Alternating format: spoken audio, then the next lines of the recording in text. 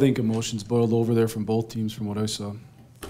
Jeff, uh, after Richard scored there to tie the game, he had some momentum. Just talk about just the rest of the game there with Johnson scoring two goals. What didn't you see from your team after they, after you guys tied the game? Uh, well, we made, you know, obviously made a couple mistakes in those two goals, so uh, and they capitalized on those mistakes.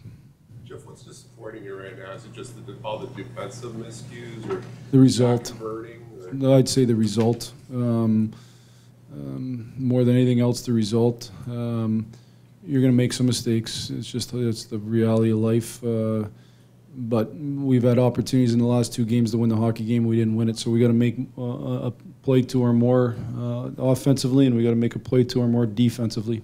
You talked about wanting to grab momentum, and both times you score tonight, they come back and score within three minutes, within two minutes. Is that part of the problem? Again, um, you certainly don't want it that way. You- You'd like to uh, capitalize and, and build off uh, opportunities when you score. So we're going to have to uh, make sure we do a better job of that.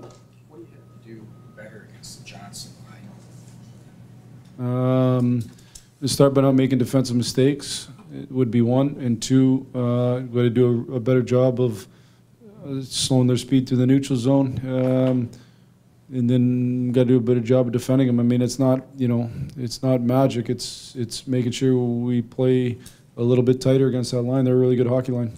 Jeff, what'd you think of Jimmy's performance here? He's I thought Jim, in the first two games. here.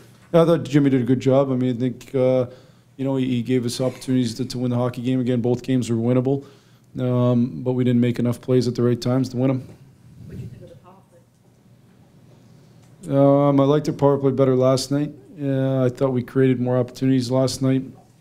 Um, you know, we missed Pavel there for the two mm, power plays in the second, so it takes you a little bit out of sorts. Uh, so I didn't love that. I love the the goal that we scored. Um, they got a good penalty kill. We got to do a job of finding ways to get pucks to net. Jeff, after uh, game one, Jon Cooper said he thought the chippiness in that first game was something just, uh, you know, first game jitters, stuff like that, but didn't expect it to carry on through the series. Now that it has carried over to game two, do you expect this to, to filter through the rest? My number one focus is on us playing good hockey to win hockey games. we got to make sure that um, we play with great intensity, but make sure we control our emotions. I thought both teams got frustrated for a variety of reasons out there tonight, and I know from our perspective, we've got to make sure we do a better job of uh, uh, controlling our emotions and, and concentrating on the things it takes to win hockey games.